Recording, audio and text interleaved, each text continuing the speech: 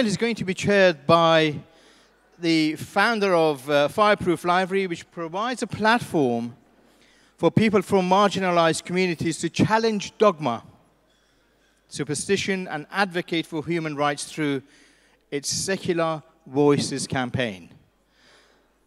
Sarah Price is chairing the panel, so please give them a warm welcome.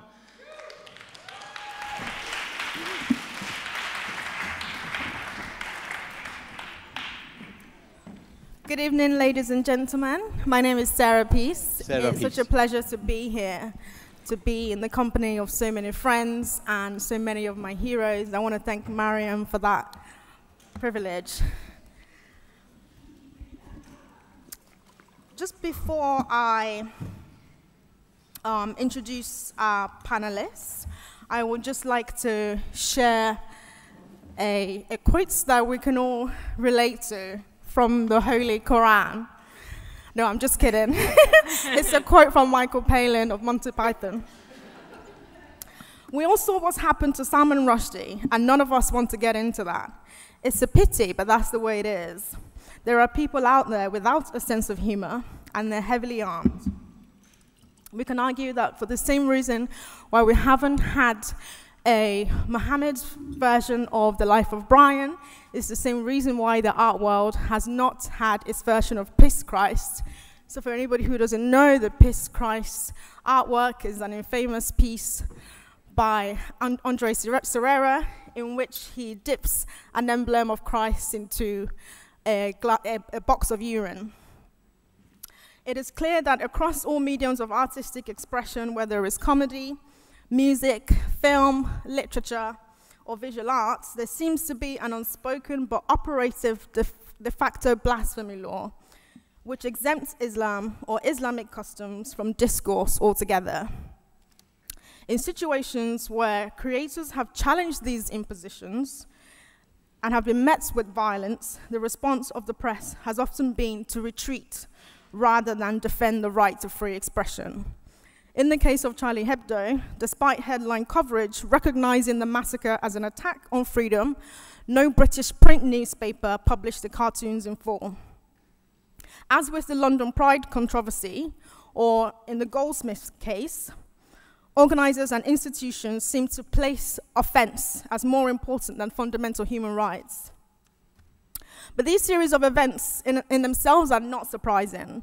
As is often the case, what emerges is a tendency in which Western liberals, who were born and raised in an atmosphere of relative democratic stability, who have their rights enshrined in the Constitution or asserted by the rule of law, have become accustomed to the guarantee of their civil liberties by default.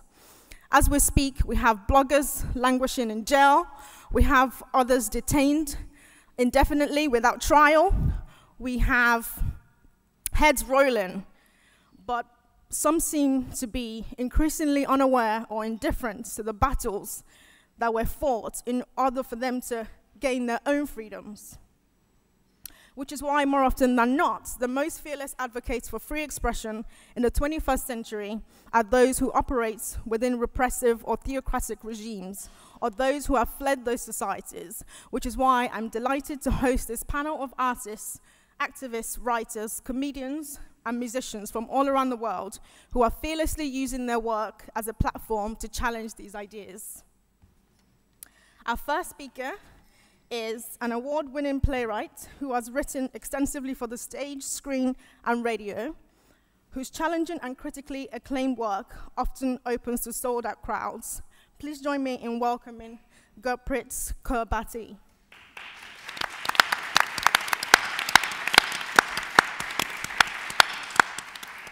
Thank you.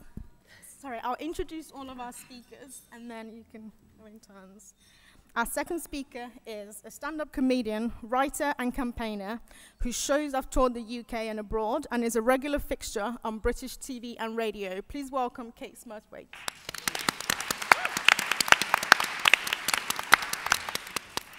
Our third speaker is a Tunisian filmmaker, advocate of freedom of, from religion, and a champion of women's autonomous rights, who, because of her work for the last few years, has been exiled in France. Please welcome Nadia El Fani.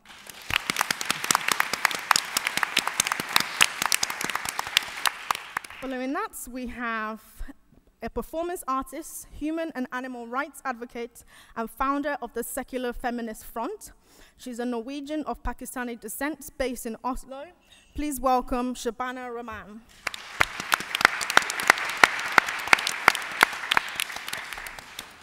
We also have singer, songwriter, secular activist, and creator of the first self defined atheist album, who also performed on this stage last night, Shelley Segal.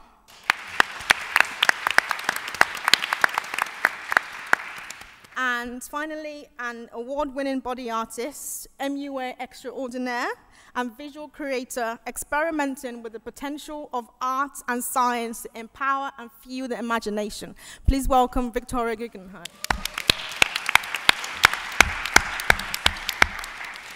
So we'll hear in turn from our speakers, and we'll have a discussion amongst the panel, and then go into the audience for questions.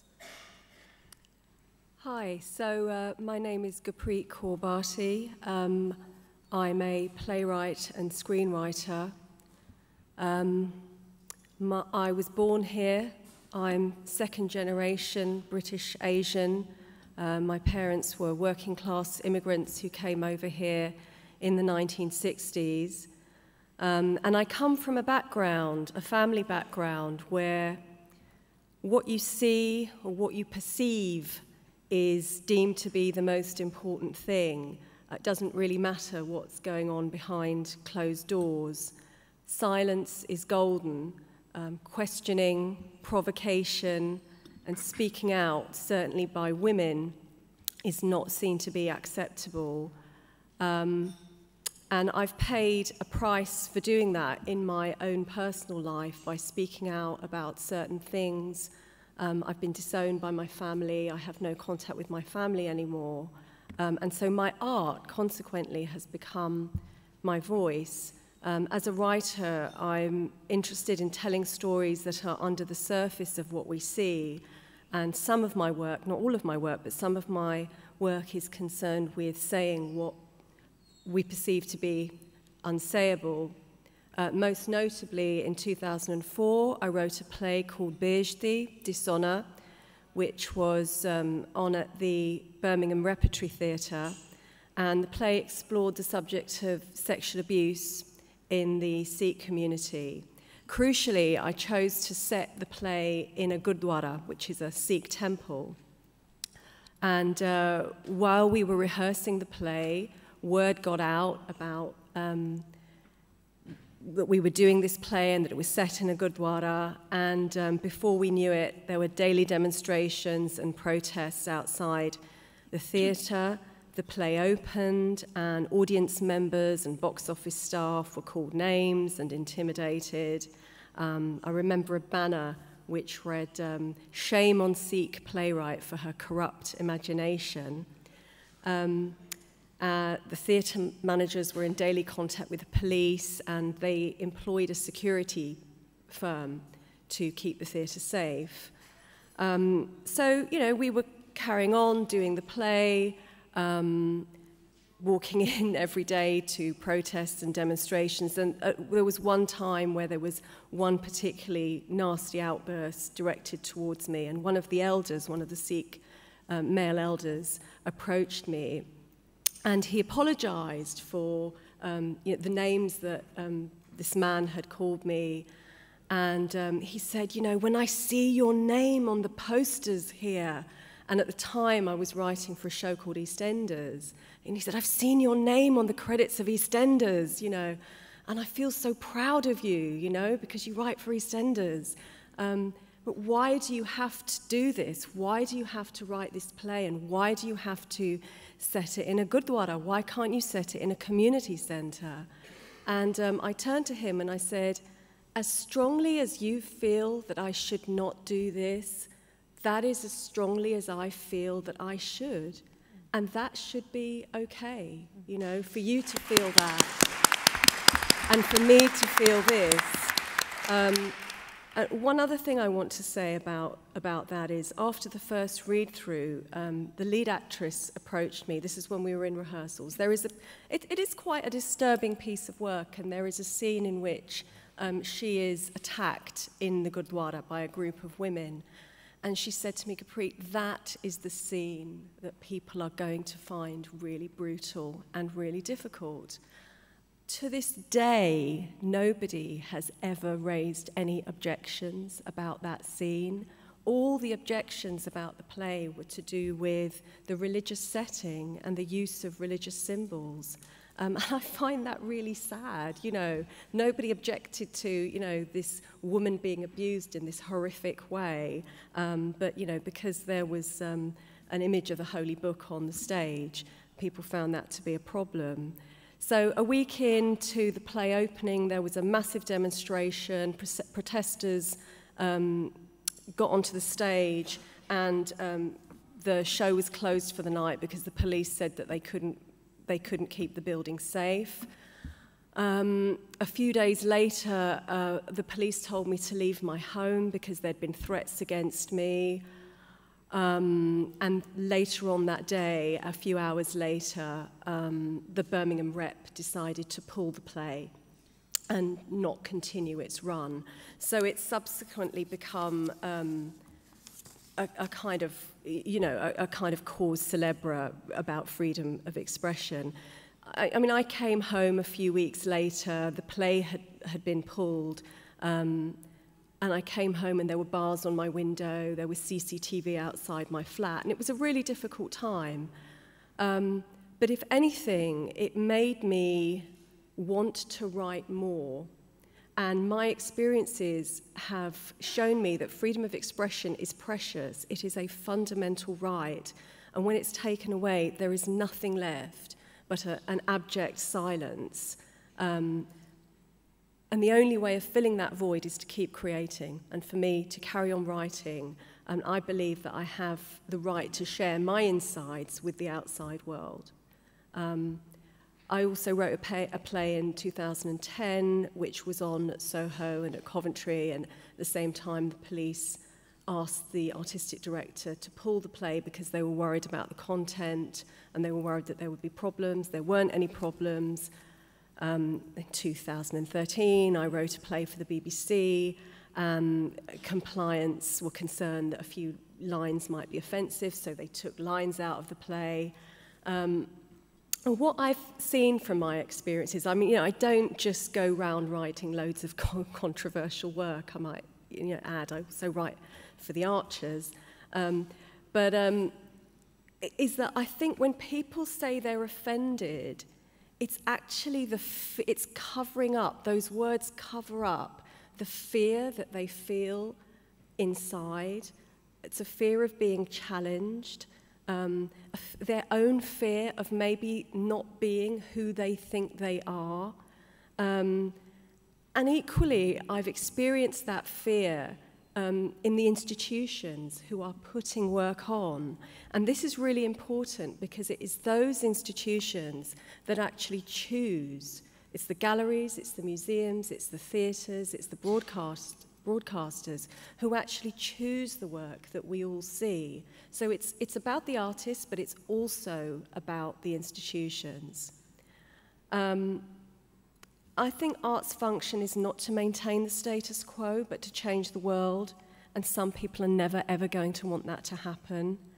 Um, and I suppose what I want to say in conclusion is that artists must have the freedom to explore the extremities of their imagination, to provoke and poke around amidst the dirt and filth of the human condition.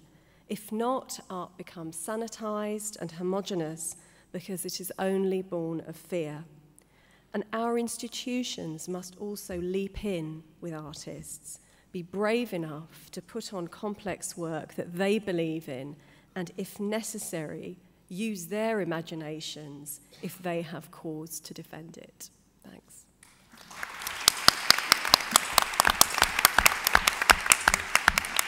Thank you. Next, we'll hear from Kate. Uh, brilliant, thank you very much. Oh, I'm not used to talking sitting down. It's quite exciting. Um, so, yeah, hi, I'm Kate Smurthwaite, and I'm a comedian and a comedy writer and um, a campaigner, an activist, and all sorts of kind of related things, a newspaper columnist sometimes. Um, I've written a bit for the BBC. I, I actually, interestingly, um, I was censored only once by the BBC. Apparently, I, cannot, I can talk about rape, but not anal rape. Uh, they were very clear that there's only one sort of rape allowed on the BBC. It's pretty tight. Um, and uh, yeah. I mean, I wasn't talking about things you should try after lunch, you know, like I was uh, obviously talking about abuse and stuff. Um, and, uh, oh yeah, and I feel like maybe I should start with a trigger warning. Let's do a trigger warning. That's appropriate, isn't it? Uh, here's my trigger warning. Um, I think everybody in this room, perhaps directly or indirectly, has been affected by gun crime. And if you're offended by the word trigger, I've already said it. Um, so, comedy, and so here's the thing. Um, there's a wonderful piece of research out of the US that shows that jokes have a bigger influence on people's opinions than facts do. Which is terrifying, isn't it? Absolutely terrifying. And you should, if you find yourself laughing at something, you just stop and check it's real first. Um, and the worst thing is, they demonstrated this in what you might call the inverted commas wrong direction. Um, they took a big group of guys and they asked them for their attitudes about women um, about women in the workplace, about women in relationships, about equality between the sexes. Um, and they ranked these guys from kind of 1 to 100 for how sexist they were in terms of their attitudes. And half of the group were then exposed to some inverted commas facts about differences between the genders. And the other half were exposed to sexist jokes. And the facts did almost nothing, and the sexist jokes had an enormous impact and they came away with more sexist attitudes. Um, so the good news is that comedy can influence, and the bad news is, oh God, don't use it for the wrong reason. um, and it's really interesting um, when we look at it in that context that it is really powerful. Um, and, and on the one hand, you know, I mean, I'm certainly not in a world of trying to say, therefore, don't tell the wrong joke. Um, but it's interesting the extent to which free speech is, is, is wielded in comedy. It feels like the, the, the com- free speech is like the get out of jail card in comedy a lot of the time. I went on TV um, about five years ago and said that I disagreed with or I, I, didn't like a joke that Frankie Boyle had told. I wasn't trying to, um, you know, reinvent the wheel. He made a joke about how some famous women are ugly. And I was like, well, that's lazy and it's, you know, and it's pointless. And, you know, women get so much more shit than guys. I just think that's not a very good choice of joke to put on air. And I received thousands of messages going, What about his free speech? and I was like, What about mine? To say that I disagree with it. And this is the thing he has an absolute right to say it. And I have an absolute right to say I'm bored of his second series and I wish they'd switch the damn thing off. That's, that's how life works. That's what the whole point of free speech is. And perhaps my sort of biggest claim to be on this panel is, is the Goldsmiths incident. Um, uh, for those of you who missed it, and, and, I guess that's quite few because half of you were there. Um, uh, so a couple of years ago, I was supposed to perform a show I'd written about free speech at Goldsmiths um, University, and, um, and then they cancelled it because I have the wrong opinion um, about the sex industry or possibly Islam or possibly something else that they weren't quite sure about, but they were pretty sure that if I set foot on campus grounds, something would stop rotating on its axis. And, um, and, and we went through hoops and hoops and hoops, and it was all over the papers and a lot of fuss was made about it. And eventually, uh, thanks to uh, Asher and his team, we managed to go back there, and they managed to sabotage that as well, three times, no less. Um, and uh, then Mariam was finally uh, speaking there and rang me up on the day and said, I'd love a support act. Why don't you come down?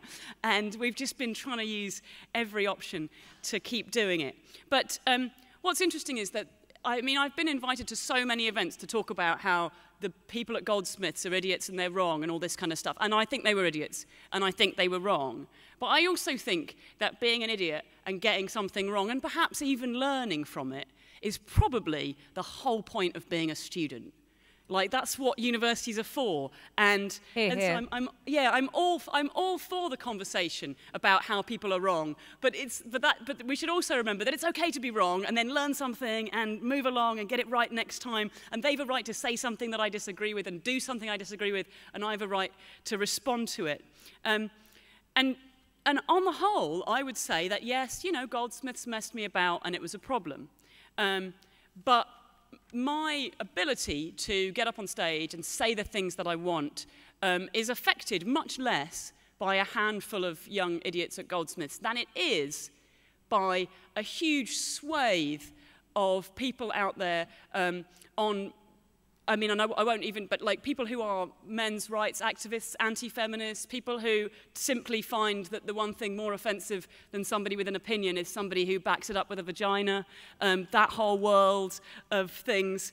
Um, I, I censor myself much less because I'm afraid of what Goldsmith's students might think, and much more because I'm afraid of what the internet backlash is going to be, and I'm not the only person in this room who knows what that feels like.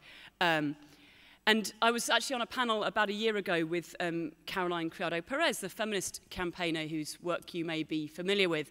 And we were talking about internet abuse. And, uh, and she said something fascinating. She said, Have you noticed that the rape threats are never about your vagina? They are always about your throat and your mouth. And she's absolutely bang on. And if that doesn't tell us what is fundamentally uh, going on there, then, then nothing does. So um, I think there's a lot to be challenged there. Free speech is not easy. It's, you know, in, in a sense it is, we should have it, and in another sense it's a really complicated subject that we need to have conferences, we need to talk about, and I'm really glad we're here to do it.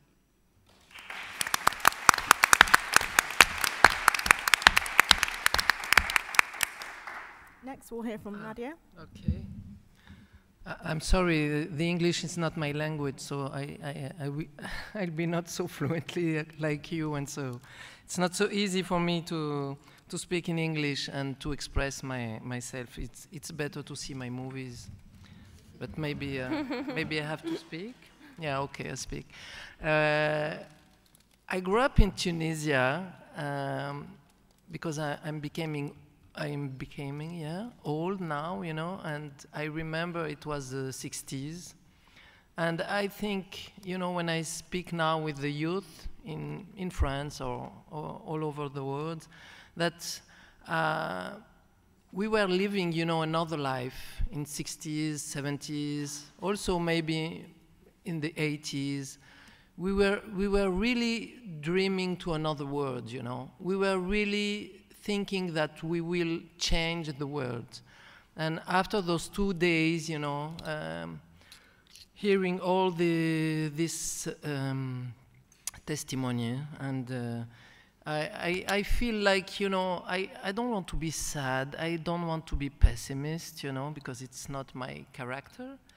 And uh, I also make a lot of joke, you know, in my movies and some humor also when I speak about politics. But I think the, the time is really, uh, how do you say it, hard now.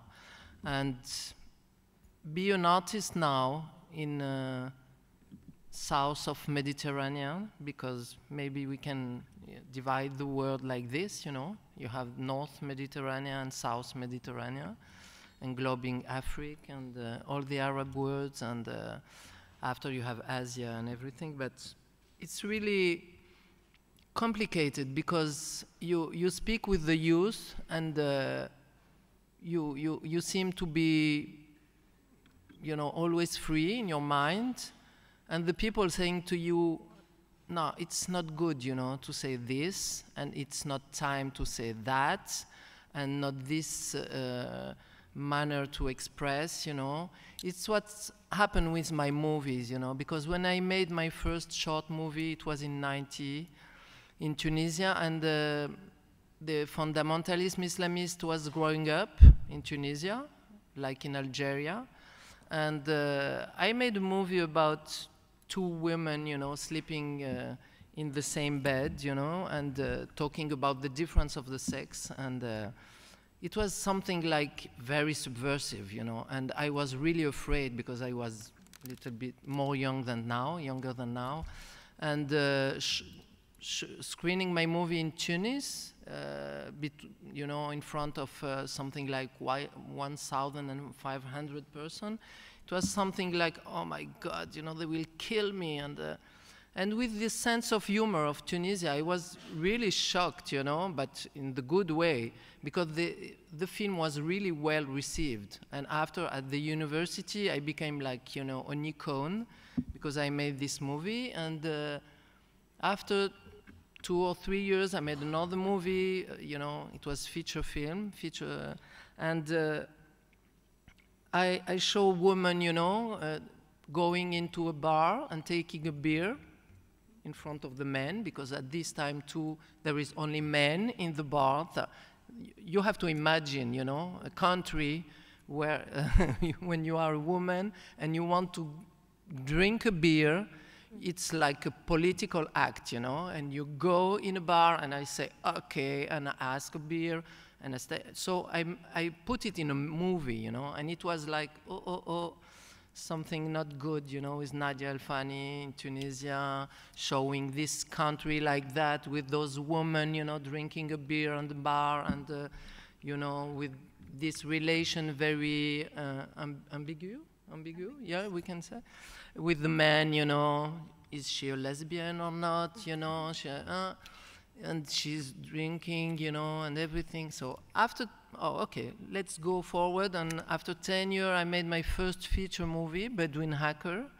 And uh, for me, it was about freedom. And because we were in dictatorship and I can't speak about freedom in Tunisia, so I was like, you know, using a satellite and everything, and a hacker Tunisian woman hacking, you know, satellite and making, um, cutting the program, TV program in France and making, you know, other program in, in France. And um, it was like, you know, talking about freedom eh, for Tunisian people. And I, I thought at this time, it was in 2002, and uh, I thought, you know, the youth people will understand me.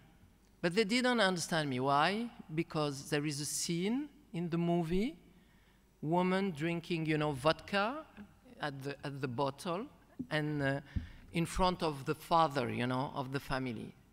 And this is something was really for me like a shock, you know, because I understood at this time that I was really um, uh, separate with the mentality of the youth in Tunisia.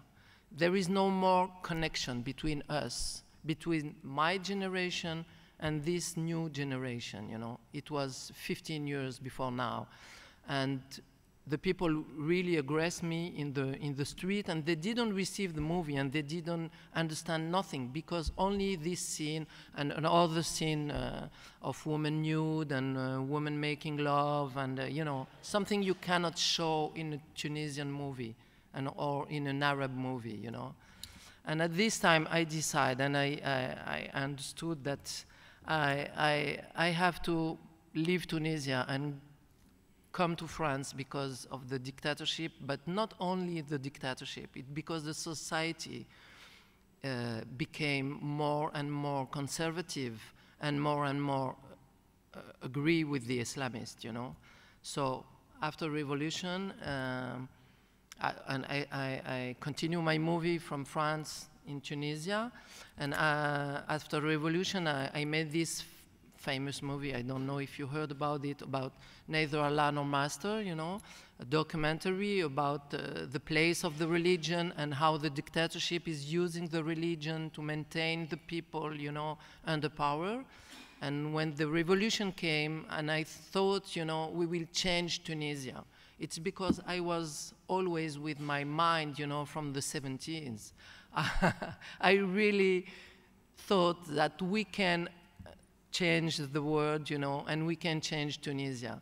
So at, at this time, the Islamist was really powerful in Tunisia, and they forbidden my movie because they, they make violence and they, they, um, uh, they, how do you say, they destroy cinema and they, uh, they uh, threatening by me by death and they put charge injustice against me and everything and uh, so it's only to tell you that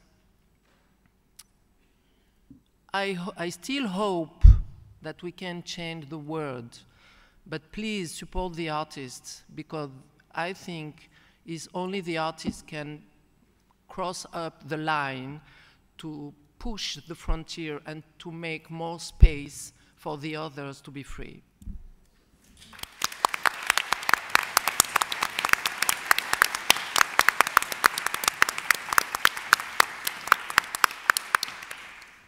Next, we'll hear from Shabana. Thank you. Um, my name is Shabana Rehman, and I am a lift up comedian. I became a lift up comedian because I lifted a mullah.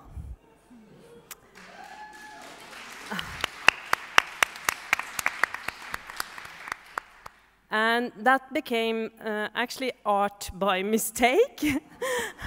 And it wasn't a usual mullah, it was uh, a terrorist mullah.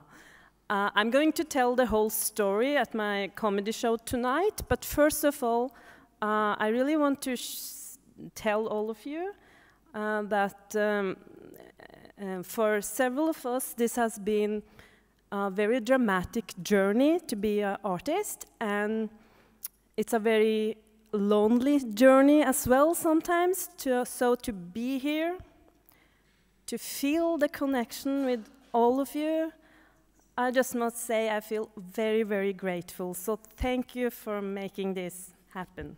Thank you so much.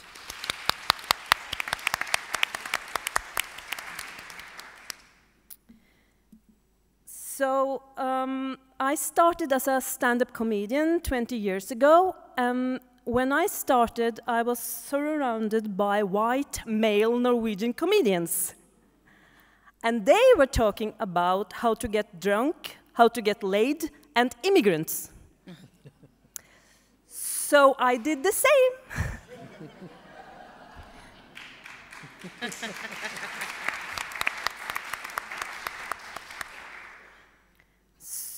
so uh, I've. Uh, uh, my experience was while people were laughing at the other Norwegian comedians, I was receiving totally different reactions.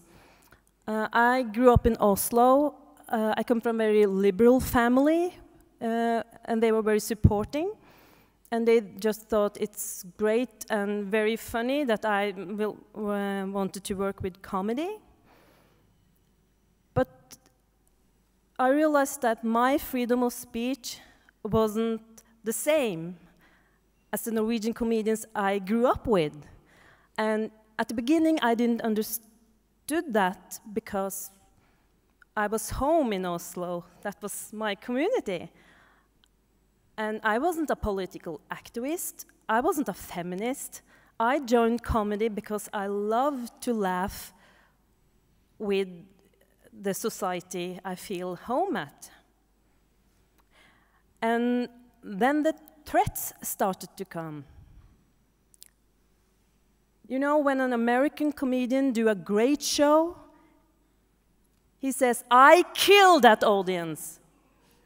But my experience was, was that there were people from the audience who said, we killed that comedian.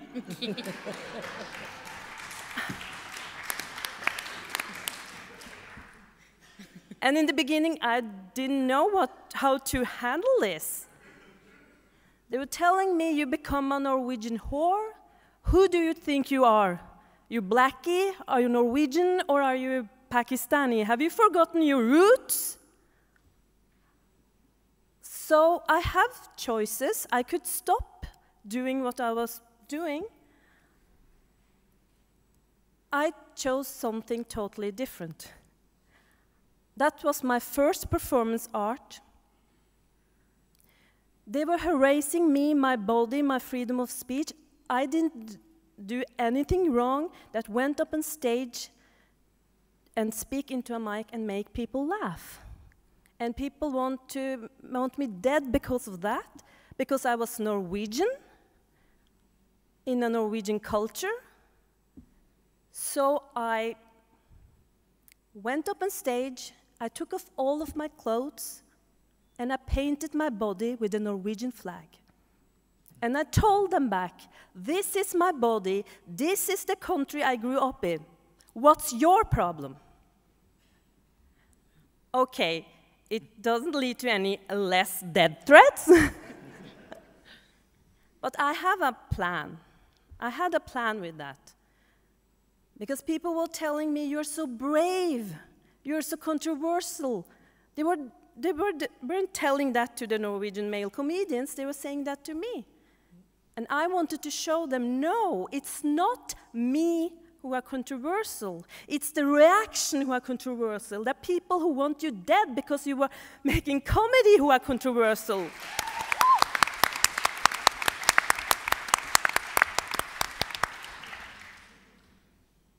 and then I met the mullah in my life.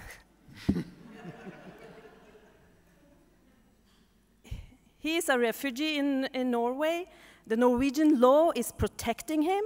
So he was in a nightclub to promote his book, which was um, promoting Sharia laws. He was using his freedom of speech to denounce freedom of speech in a very same nightclub where comedians were doing stand up comedy. And he was telling the audience that Norwegians have no reason to be afraid of him. And I believed him. So I went up on stage and I said, I believe you. Let me show that. And then I lifted him up.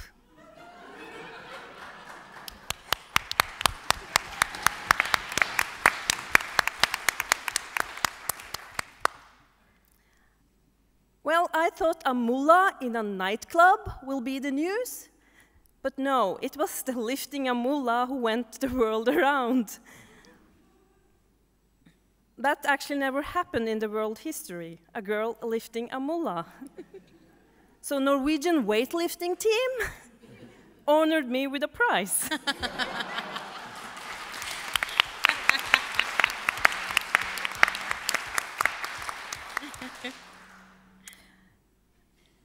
I will be, be short because there's a long story of what happened to the mullah and me. we can write books about that. But the, my, the experience I really want to share with you, which is still making me think what this is all about and what we are fighting against, is that I never received a single death threat after lifting the mullah.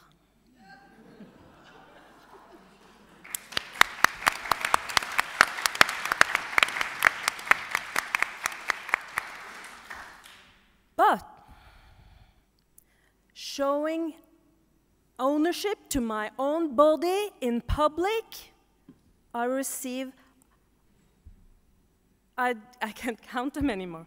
I received so much death threats, shooting at my family's restaurant. I still being harassed, even if that ha happened 20 years ago. A woman can show her strength. She can be stronger than a woman in public. She can lift mullahs. But she can't own her own body. What is this about?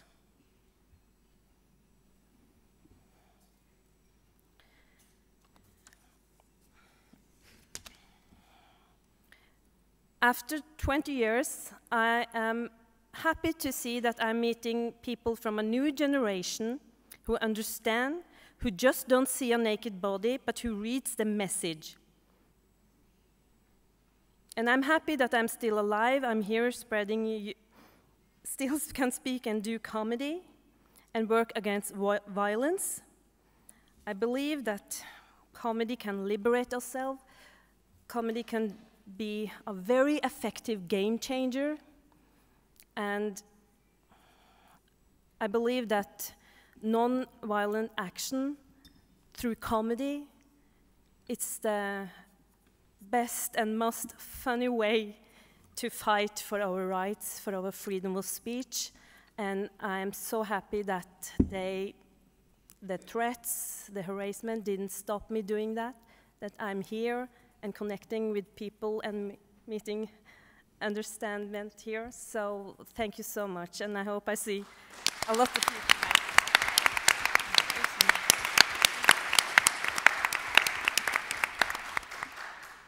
Thank you. We can't wait to hear more in your comedy show. Next to speak will be Shelley. Hi, everyone.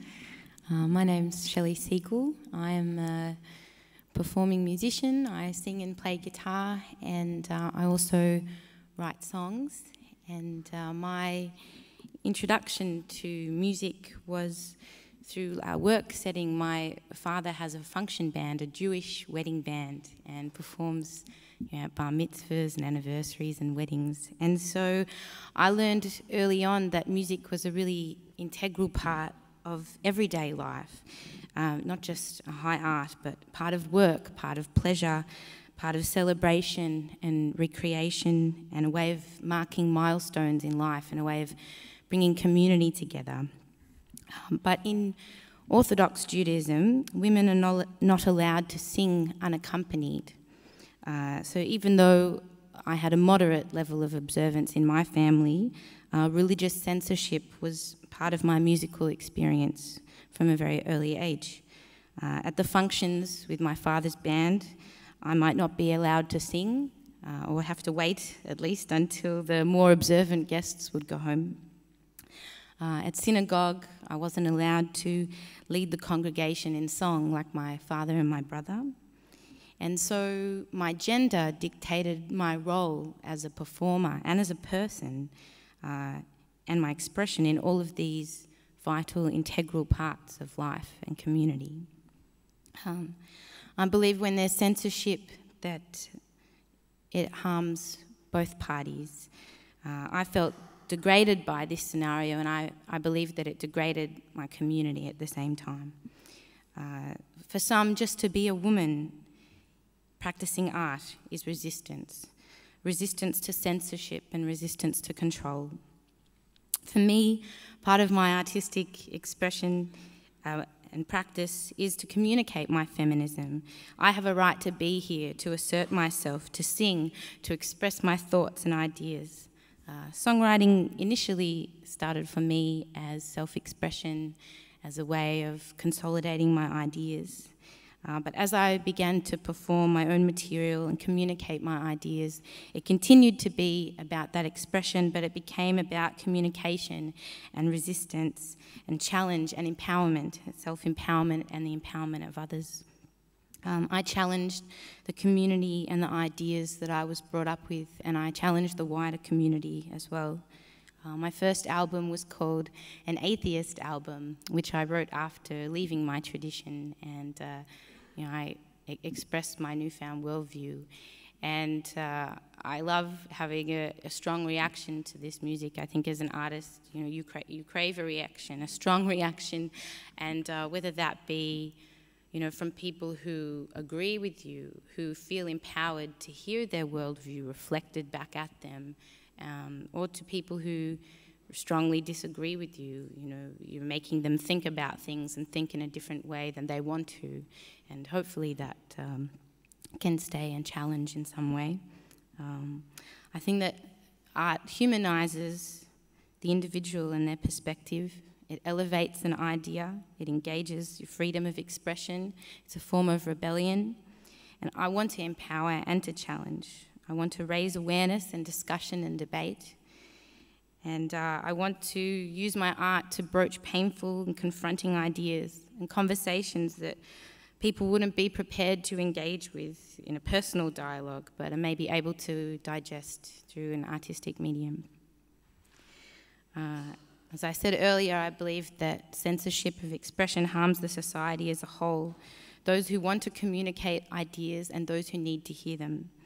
My mind and my art is constantly informed and motivated and changed by other artists and activists that I meet. And if we're unable to learn from each other and be challenged by each other, then we stagnate and our society stagnates. And art is unable to fulfill its role to reflect and push society forward in its understanding of itself, the good and the bad and the depraved, and in grasping itself and what it can become.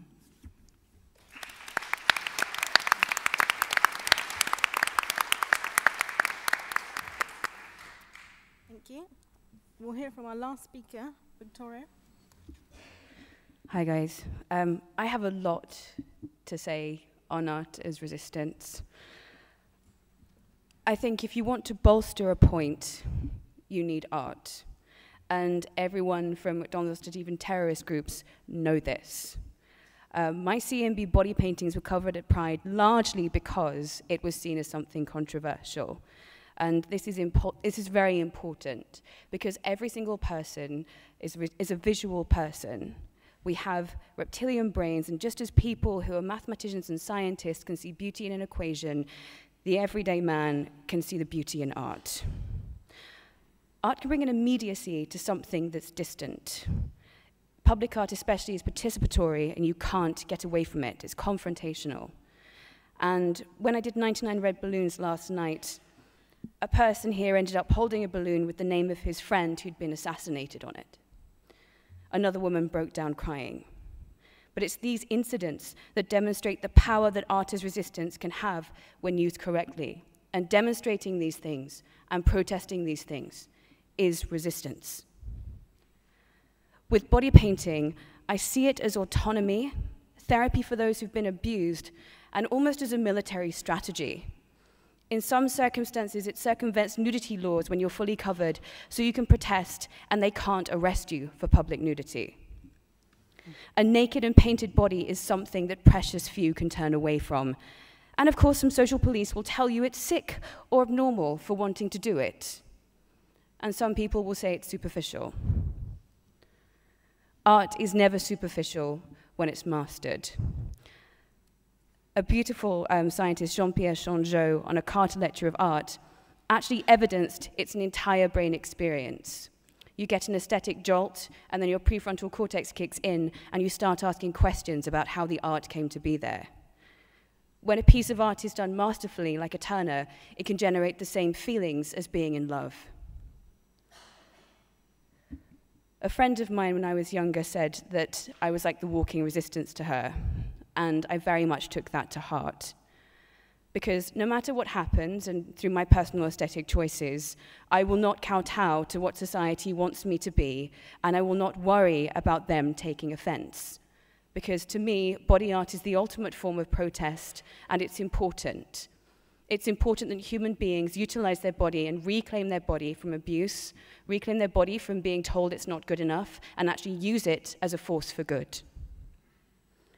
It's also a resistance from thought policing because people will want to tell you what's normal and what's not. I have a non neurotypical mind. I'm on the autistic spectrum and I suffer very badly from bipolar. But actually, if you know how to utilize these properly, they can give you an advantage. It can be a natural resistance to a herd mentality. I fought against people my entire life saying this is not how normal people think, and trying to shut down the way my brain processes things. And actually, I realized later on in life that actually thinking about large quantities of information, having a big mental map, and actually looking at ways to do things differently aren't a source of pathology. They're a source of inspiration. They're a source of changing things. They're a source of making things better for the world around us if we use them correctly. The majority, I think, as well, can never be right. A zeitgeist can never be right because the mainstream profiteers through cutting down little pieces of information, turning them into these terrible bite sized sound bites, and having them perpetuate across social media. You will never get to the truth this way. I think art and science, when they come together, will give us more truth and beauty than looking at these stupid, bite sized pieces of information that Twitter and Facebook will give us. I also like to see what I do as a sort of choreographed ma madness, if you like, a sort of, um, I think it's called Janusian processing in psychology. Because you need novel ways of thinking in order to raise the standard of it. It encourages new ways of questioning, new ways of creating metaphors and similes, and enables you to be seeing both the similarities and differences within and between things. And I think a lot of people who are non neurotypical, a lot of people who are different or awkward or just benignly weird, have issues with not just information processing, but how we're taught things um, from an educational level. There's a beautiful book, which if you haven't got already, I would implore you to get, which is called Arts with the Brain in Mind. And it demonstrates that when disenfranchised children, people who have been abused and people who are autistic, um, are actually given art to do, they go from disinterested learners, people who don't care about education and the world around them, to information hunter gatherers. Because when you're giving them the capacity to do art, you're actually giving them a capacity for autonomy to go out and get the information on their own terms, to think for themselves, and to actually enable truth and beauty to come their way. It's a vital part of education when done right. I also like to engage when I'm creating a piece of work in something I call the sandbox of the mind. It's very Python-esque, and you can have a little sandbox mentally in your head where you can entertain an idea, no matter how absurd or how weird or unusual, and it will never affect your thinking in a, in a detrimental way. I'm very much for aesthetic freedom, and I'm doing this because we still don't have what I'd like to call equal clothing rights to be as a desk. When I had my head shaved and I was walk walking along in a spiky jacket with a friend of mine, a man suddenly started crouching, and I thought maybe he was drunk and taking a leak. And instead, what I heard was fucking faggot. And the guy punched me so hard in the head, I fell down on the floor and ended up with a concussion so bad, I missed my father's wedding the day after. So I'd like to issue this, uh, this little bit of a war cry, if you like. I'm interested in how things are, what we can become, and how much we have in terms of human potential. I want to test those limits.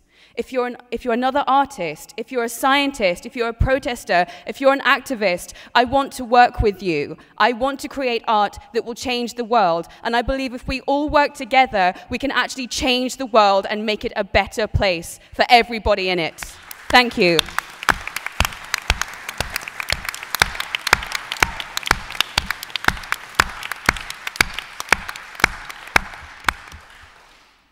Thank you for that.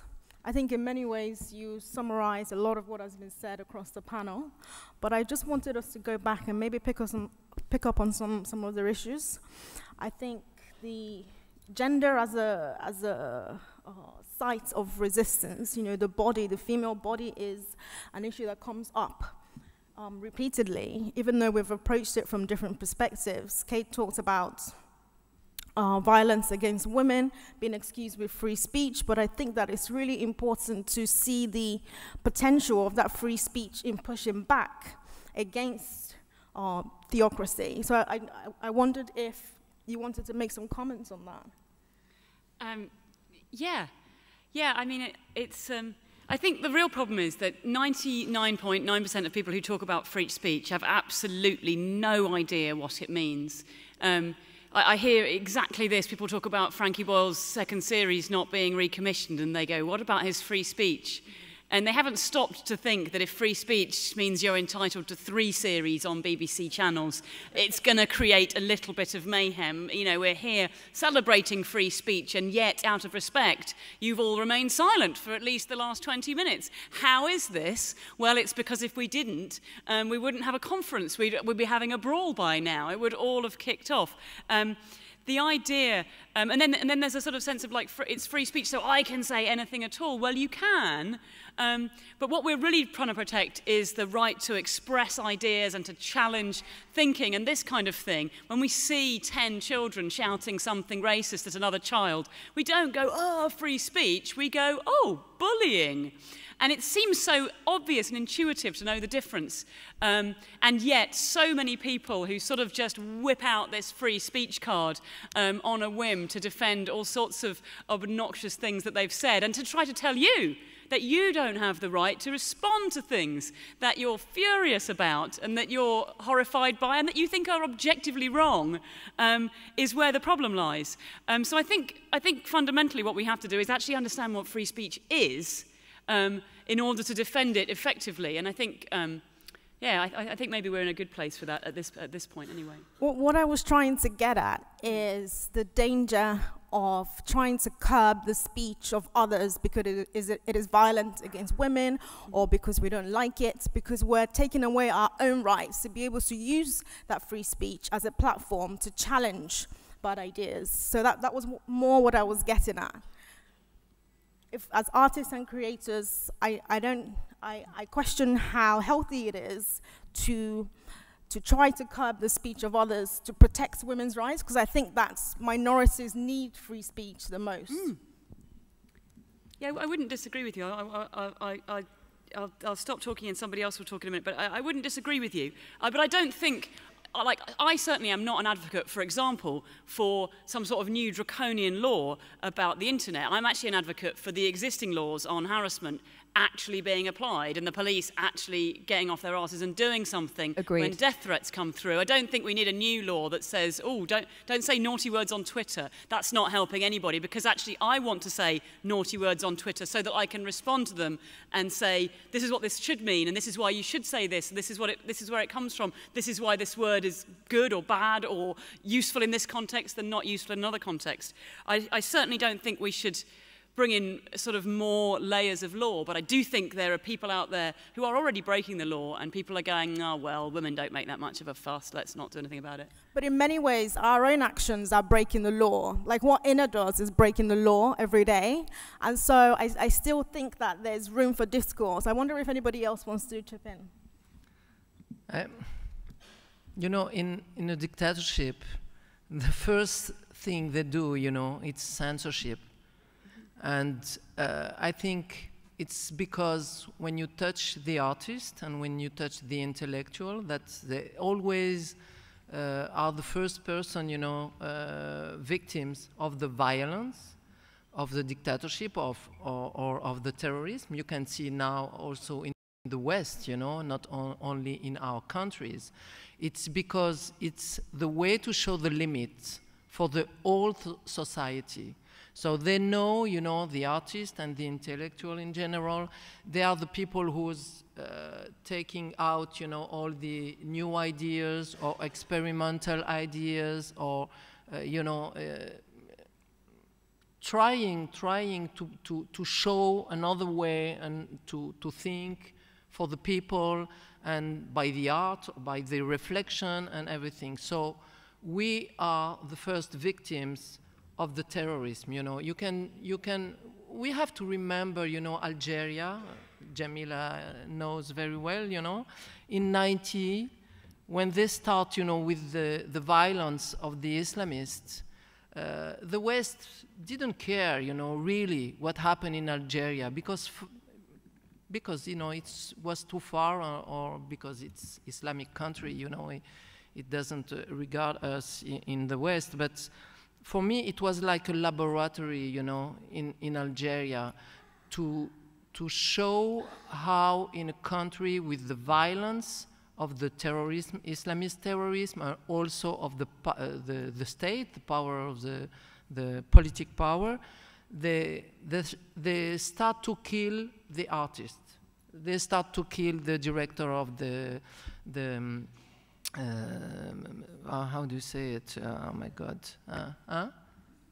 News, uh, not newspaper. They, they start to kill, you know, the, les, les directeurs de, de, de, la Maison des Arts, etc. And, and also writers, you know, and uh, after also, also, you know, newspaper and everything. And it was like 10 years violence in Algeria. And it was like silent in the West, you know. I think it was almost now 25 years before. And I'm afraid, you know, in 25 years after, we will, we will have the same thing that it's arriving to Algeria now, that there is no more freedom for the artist, for the, the writers, for the journalists, for the, you know, it's, it's not really dictatorship because it's like smooth dictator, dictatorship, you know, because the, the, you don't have to persecute really the people because they are afraid about the violence. It, it's what, what's it happening now in Tunisia after, re, uh, after revolution. The people, because of my story, not only my story, you know, all the all uh, uh, other artists in Tunisia like dance, you know, or uh, comedian and everything. And now the people, they are not creating any more things, you know, subversive because they know the limits. So now they are like, you know, we don't need any more dictatorship because the people are afraid about the violence. And I think when I saw France now, what happened with Charlie Hebdo, what happened with uh, all this uh, terrorism, you know, that, oh la la la la, be careful, you know, don't, don't go to this touchy uh, uh, thing, you know, but saying something about religion, about Islam, of course, because now around the world is only Islam making a problem, you know, because it's only, I'm sorry, but it's only Islam making terrorism for the moment and large terrorism, you know.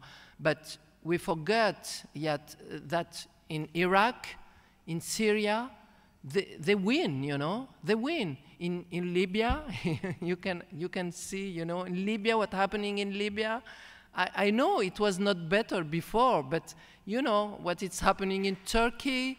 Uh, be careful, it's coming, you know.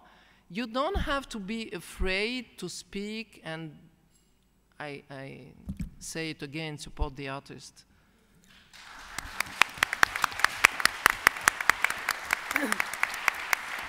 Can I just chime a little bit in on oh, censorship? Yes, sorry, yeah. if, if Shabana comes in and yeah. Sure.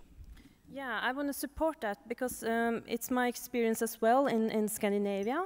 Um, you know, the, the growing uh, issue of self-censorship. Mm. And it is really um, scary because uh, if we can't, uh, if we start starting doing self-censorship in, in Europe, who will then speak, right? And it's, uh, even if you're not um, killed as um, easily in, in, Europe as you do in other uh, countries because of using your freedom of speech, there are a lot of things happening who are, um, you know, um, making you stop your uh, totally free way of, of thinking. You, you keep having second uh, thoughts uh, or you don't get enough work and um, also that you know we have this political left uh, and right issue. They are um, positioning themselves and uh, uh, trying to own artists and using artists in their political uh, ideologies, right? Uh, so uh, there are several ways they are um, stopping and making it difficult to be a totally free uh, artist. And I think uh, our societies, but also the world, will, uh, you know, bleed for that. Uh, even after Charlie uh, Hebdo, that was really difficult to discuss this in, in Norway because um, it, it's so easily, and, and you realize that it's so many people with so much aggression who, who really doesn't understand that free thinking uh, is not the same that you are, uh, you know, uh, a free victim of harassment, right? Because if you are using your freedom of speech to think, to discuss issues like uh, uh, what Charlie Hebdo, um, I realize that they are telling me that, okay, then I can tell you whatever I want. So they are personal attacking you if you are, are discussing a general topic. And it's, it's, it's a big problem. Thank you. And Victoria? Yeah, so um, just generally in terms of censorship, I don't think um, art should really ever be censored just based on the fact that what you'll be doing is, say for example, an artist wants to um, create a piece of work and you find it offensive. Um, I think Dawkins touched on this point yesterday. Um, that person's offense shouldn't ever trump your right to create art. That's your right as a human being to express yourself in that way because you're not causing harm to other people. All you're doing is perpetuating a thought. Mm. And that's, it's actually really vital that we get new ways of thinking and being into the world and new ways of examining things and breaking down information because otherwise we'll just stagnate. And um, just touching on that point, I want to go into a little bit um, of a cultural appropriation because actually um, I think that this whole idea um, of cultural appropriation with Bunny Repeteurs um, is essentially it's censorship because it's anathema to mimetic production. It restricts the flow of ideas through censorship, usually through kind of societal piling on. So if someone posts something on Facebook like Katy Perry in a geisha outfit, they're going, oh no, it's terrible, it's cultural appropriation, how dare she? It's like, this is visual kei, this is from Japan, come at me, bitch, seriously. um, and the thing is, I, I understand that it comes from, I, I guess, a place of, of wanting to protect people, but in so doing that, um, you actually, you censor people so much that it just, it becomes just it, becomes another tool of the oppressor if you do that. You're saying you can't wear that, you can't do that, you can't say that, you can't create that. And before you know it, we're in a dictatorship. We're in a, a, a place where no one can express themselves you know, and also in terms of things about, in, in, in terms of thought experiments as well, um, if you're thinking about things and you're upset about them, just, you know, take a step back, and it's okay to think about things merely because they're unpleasant, because thought experiments are vital. You have to think about things no matter how unpleasant and what could potentially happen. And you have to break dialogue on unpleasant topics. You have to break ground. You have to engage, because if you don't, we're not going to get anywhere. We're going to carry on going down this sawtooth mm. of declining humanity, and we can't allow that to happen. We just can't. So that's my two cents.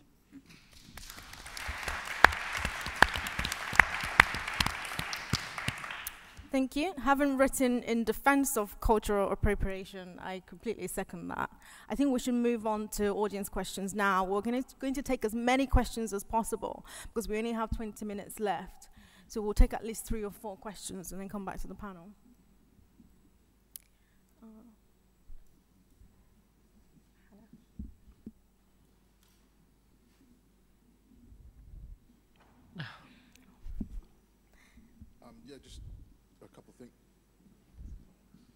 Just a couple of things. Like two years ago here in London. I'm sorry. Can you please speak up? Two years ago here in London, the, the Passions for Freedom ex uh, exhibition, they banned, they pulled the Mimsy artwork because they said it's too too expensive to insure.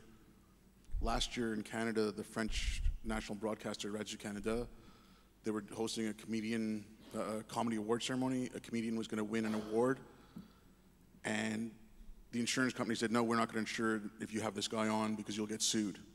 So they gave him the award in absentia. So, I mean, like, what do you do now? Do you give insurance adjusters critique courses so they know what to critique? Like, like, like how do you stop that? Okay, let's go straight to the next question, please. Hello, my name is Hannah. Um, thank you so much for that panel. My question was, um, you get this sort of social justice warrior mentality and narrative amongst lots of very successful young entertainers, artists. So I'm thinking your Lena Dunham types, Katy Perry. Um, and I was wondering if you guys feel betrayed because they've got such big audiences and they're perpetuating some very regressive ideas from a place of uh, quite a privileged place. So I was wondering if you could just, um, I, am not just saying those two figures, they're just two that come to mind, but would you be able to elaborate on your feelings towards maybe this culture of perpetuating SJW ideas in art? Yeah, any more?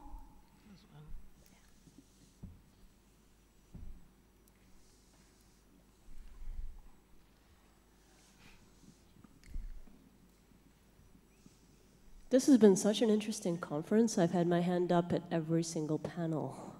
Anyway, I want to ask you guys a question about the phrase, and which has been incorporated in law, incitement to hatred, because I have real issues with this.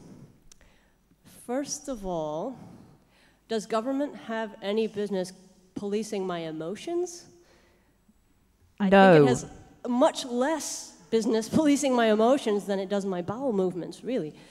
Um, I mean, government should not be compelling my love, and nor should it be policing my hate, first of all, unless it's carried out in some sort of act that's illegal. Secondly, this whole concept of incitement, um, it, well, completely undermines the liberal idea that we are autonomous, responsible, moral agents. So the other side of rights is responsibility and the idea that grown ups can take responsibility for themselves, not claim that they've been incited to do something by someone else. This has a lot of overlap with honor and immodesty and such ideas that some people are responsible for other people's behaviors, which is nonsense. So I'd like to know what you think of that. Thanks. Right, thank you. Is anyone on the panel not familiar with the Passion for Freedom exhibition? So I can quickly explain. So a British artist, Bambi, made an artwork that was making fun of ISIS, but then the British police responded and said, well, if you choose to go ahead and show this work, you're on your own. You need to provide your own security, which of course they couldn't afford to because it would have cost 35,000 pounds, and in the end, they had to pull the work from the exhibition. That was the first question. The second one from Hannah was about social justice warrior narratives, in which a lot of creative practitioners, filmmakers, are pushing this narrative that I suppose sells, you know, that makes them look good, that, you know, in which they defend minorities or they apologize for having dreadlocks or for braiding their hair, in which they just kind of prostrate in front of the minorities just to show how oh, liberal and non-racist they are. But of course, in, we know that this is it's a very superficial type of uh, of apology they put forward. And then the third question was about incitement to hatred should the government decide what this constitutes? Should we go from, from there? Um, so what happened is that police uh, declined to uh, support security to an artist who were having an exhibition about ISIS? Yes, so in a way, the police shifted the responsibility onto the artist. Rather than defend the artist, to show the work, they said, well, you're on your own if you show it, and surely no reasonable person would have gone ahead and showed it, if that makes sense. So is, is your question around that? Yeah. If it happened like I understood it now, I think it's really uh, crazy because if we are going to that direction, where will it stop?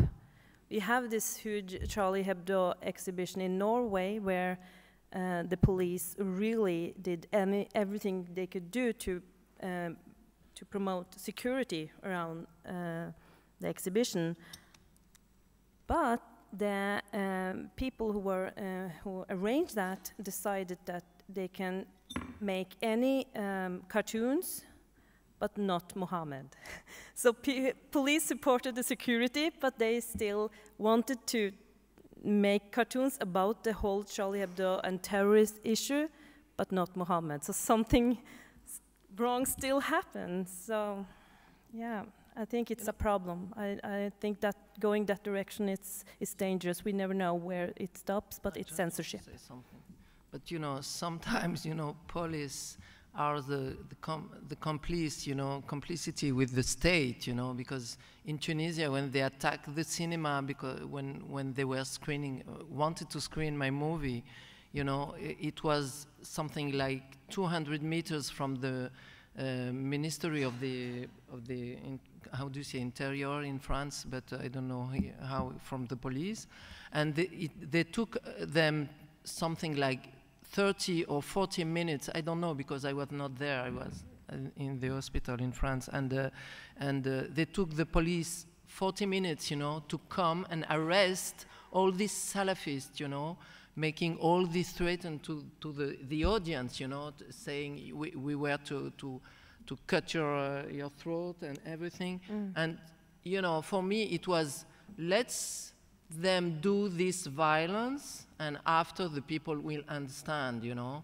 So sometimes the police uh, are really, uh, yeah, complice, you know, with the, the, the, all this violence and uh, you, you, you, I, I don't want to speak about what happened in France this year, you know, with, the, with this uh, état d'urgence, but uh, the état d'urgence in France, it was a pretext, you know, to, to forbidden everything, you know, all demonstration, uh, not only about artists, but everything. And after Charlie Hebdo in France, they, they forbidden all the screening, not only my movie, a lot of movie like Timbuktu and everything, because they were afraid, you know. After Charlie Hebdo, it was the time to show those movies, you know.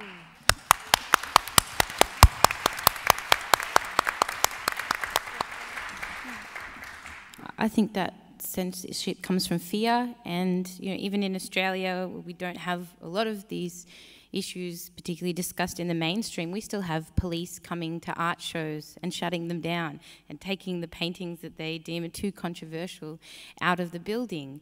Uh, and I think the response is partly what Nadia uh, emphasize, which is support the artists. I mean, they maybe they can stop that one exhibition, but they can't stop everybody. They can't censor the whole internet. We can repost those images. We can show our support. We can support the artists.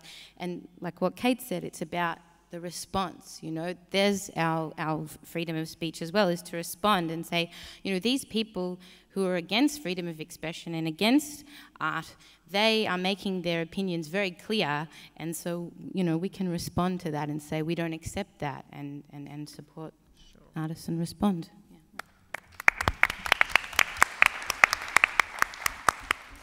Um, no, no, you go first, it's fine. Yeah, go for it, yeah. Can I just say, um, having had a, a couple of experiences where things have blown up because of a piece of art or writing uh, a play that I've written, I think that so much of the problem is is that none of the agencies really know what to do. So you have the police, the law, the the institution that has produced the art, and they they're just in a state of shock um, I know Index on Censorship are doing a lot of work to kind of bring people together and look at a way forward, but nobody takes responsibility. And I think we are getting to the point where arts organisations, particularly in this country, almost need freedom of expression policies um, where, where they know what to do because in all of these instances, the security is what trumps the art.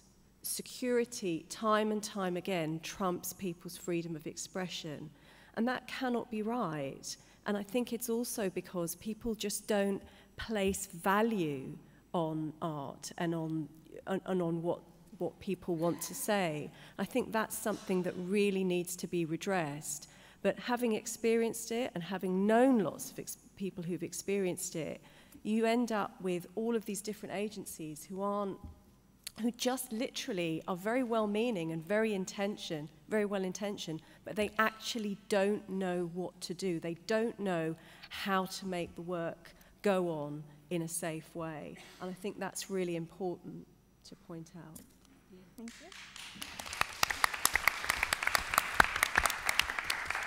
Okay, so on the first point, I think maybe this is a bit left field, but I, I think that essentially just corporate culture and the need for large amounts of money driving art is actually shutting free thought and freedom of speech down when it comes to art. So if it's a case if it comes to, down to insurance, then, okay, what's the company saying yes or no on that? What are their motives? No, no one seems to be questioning this. And it seems to be part of a greater problem where the more power kind of corporations tend to have, or the more kind of unethical power, if you like, governments tend to have, the less able you are to express yourself as an artist. And so what I think we're finding is that we've got censorship as a result of fear, and it's symptomatic of a greater problem of corporate censorship. So that's my first point. Um, the second one is about kind of the social justice warriors. Um, I have a term really for people who profiteer off of this um, to create outrage porn, and I call them offense ferrets. And I think what they tend to do is they tend to trawl the internet for anything they can possibly be offended about. And it's, it's come to me as well, as someone who apparently is too pale to comment on something, which I was a little bit pissed off about.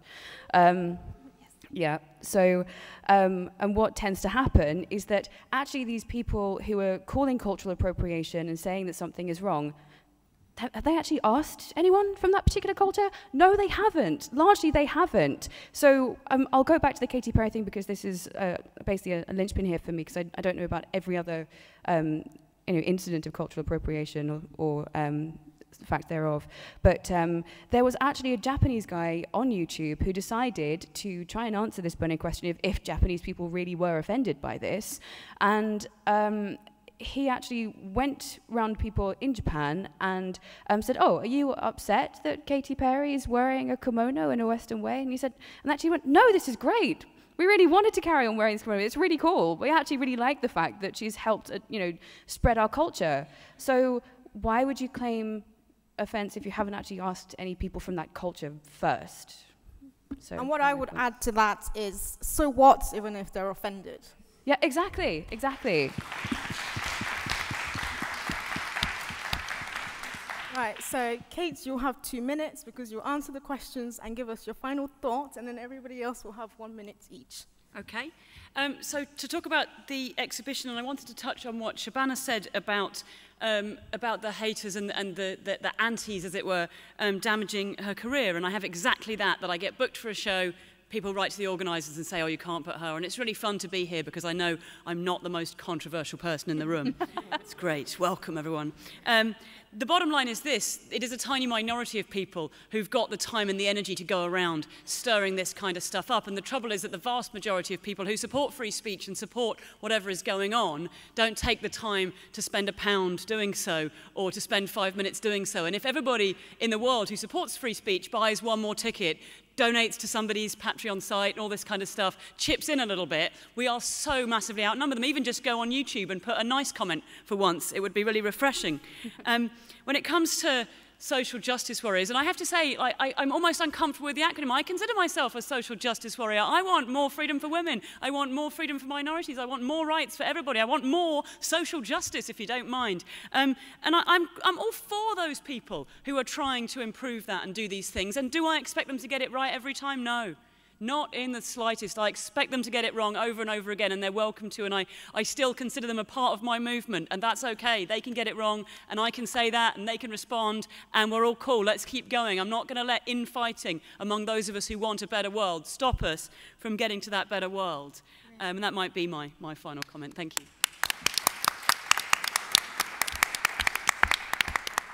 Anyone? Oh. Uh, yes, the fear is there, but I believe that the art will always find a creative way to express itself. And I don't care if my English is not perfect, or I don't even care if my Urdu is so broken. But I think what I care about that all of us have a goddamn right to laugh, to follow our hearts, to speak our minds, and uh, yeah, to defend a non-violent lifestyle, and we will keep doing that because we have no alternative.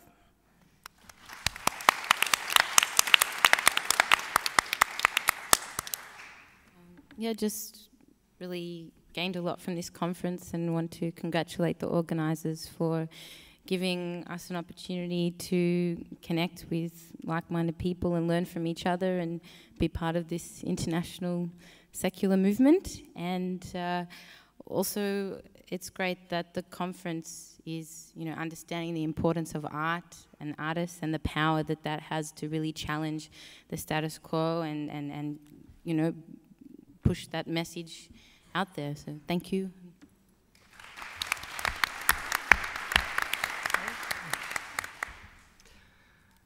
Um, I just want to say um, as the artist, you can, uh, I think you can, uh, don't ask any more permission to say whatever you want to say. Don't, and uh, you can break the law, you know, you can uh, uh, trans, transgress, I transgress, I don't know if you can say it in English, I'm sorry.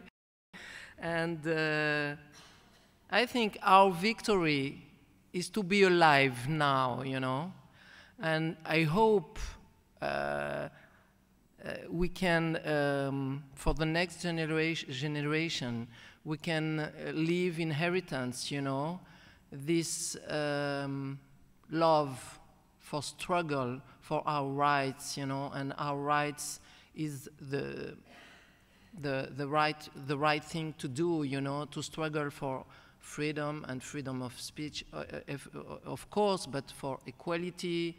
And please translate the words. Mariam, laicity.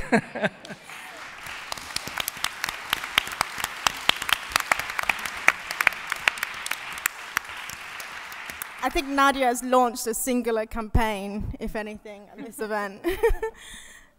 um, I, I just want to say that art is, in essence, provocative, it is provocation, And it makes me really sad that there are so many arenas at the moment that, that where that fit, that's not acceptable and that's not okay. Um, because if, we, if we're provoked, we just look in, we look at ourselves, we look at different corners of our mind, and we learn things about ourselves. Um, and secondly, you know, I, I get offended by things. I don't mind if people are offended, or I, I think it's great that people protest and say they don't like stuff, but to, to say that you want to shut something down is a whole different ball game, you know, and I find that really, really sad and really, really difficult. Um, and I just want to say also, I feel hopeful, you know. I feel really hopeful at events like this. I feel really hopeful and inspired by listening to different artists who I know are carrying on with their work. And when I was really little, my mum used to always say to me, be brave. And I think if you're brave in whatever sphere of life, you will discover something, whether it's about your art or about yourself, and that has to be a good thing.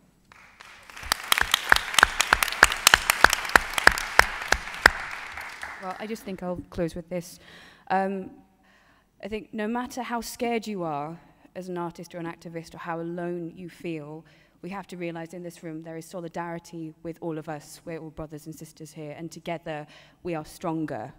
So protect one another, love one another, support one another's art. Whether you're a secular artist, an atheist artist, an apostate, or a blasphemous artist, we're out now. We need to keep going. Let's keep going. Thank you.